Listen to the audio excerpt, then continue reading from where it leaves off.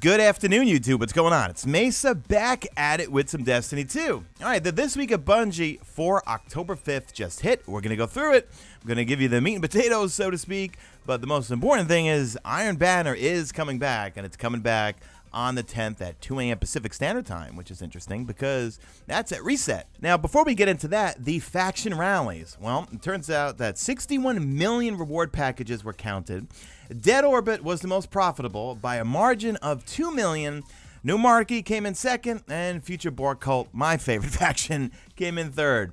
I pledged allegiance to Future War Cult on two characters, and then one was New Monarchy. I did not go Dead Orbit, and I am not buying the Scout Rifle. I'm not exactly pleased with the perks in it. Was kind of hoping for something better. I, I really wanted the Future War Cult Pulse Rifle, but hopefully I'll get that from one of Cayde's stashes. So, Lord Saladin is coming back to the tower, and Iron Banner is going to hit next Tuesday at reset, 2 a.m. Pacific Standard Time on the 10th.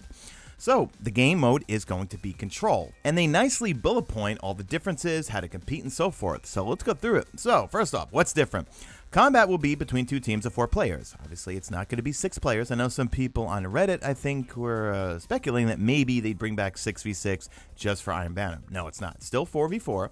Your fighting abilities, not your power levels, will decide the outcome. So, once again, just like Trials, uh, power does not matter. Uh, you don't have any benefit if you're a higher power value. It's uh, straight up just like regular Crucible. Bounties and ranks have been replaced with the Iron Banner Engram, so it's going to be the level up system just like anything else. You're going to play Iron Banner, you're going to get tokens, cash them in to get loot. Now, if you want to compete in Iron Banner and you're new to Destiny, you got to finish the Destiny 2 campaign, the only way to reach the tower. We're going to go visit Lord Saladin to begin the Iron Banner quest, and then we're going to fight in the Iron Banner playlist with quick play modes and matchmaking. Now, here's how it's going to work. You're going to play Iron Banner, and every match you're going to get tokens, which we're going to go cash into Salad Head to get some gear. Now, if you win, you get more tokens. If you lose, you get less tokens, but regardless, every game you play, you get tokens. There's going to be daily and season milestones that track your progress, and there's going to be a whole new armor set. Now, I don't see anything about weapons or anything, but I'll be streaming this live right at reset next Tuesday morning. So you want to tune in and we can see what kind of gear we can get from him. Also, we are getting the prestige mode of the raid, the 300 level Leviathan raid. That's going to be dropping also next Tuesday at 10 a.m. Pacific Standard Time. Tune into my channel. I'll be streaming that also on YouTube at some point next Tuesday or Wednesday. Now, let me read you this quote here. So, we do not expect everyone to be successful in completing this activity. Mechanical changes to the encounters are minimal, but they are there. The Prestige raid is about mastering a more punishing sandbox. Our goal is not to provide a boon to your character progression, but there are unique rewards to help you shine. Consider this your invitation to prove to the world that you are among the very best of the raiders who overlook the city. So that is pretty much it, guys. No other news and nothing about any challenge modes with regards to the raid. We know that the emblems all leaked.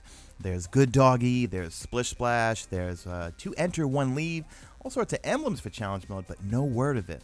And no word of any uh, type of roadmap or anything for October. But we have Iron Banner, and then we also have the Leviathan Prestige mode. And also, Iron Banner is going to end on the 17th. So it goes from the 10th to the 17th, 2 a.m. Pacific Standard Time. So that's it, guys. Do me a favor, drop like this video only if you see fit. Follow me on the Twitter at Mesa Sean. Check out my stream.